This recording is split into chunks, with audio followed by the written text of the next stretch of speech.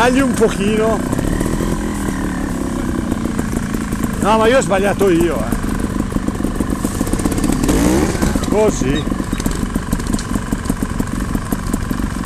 Eh.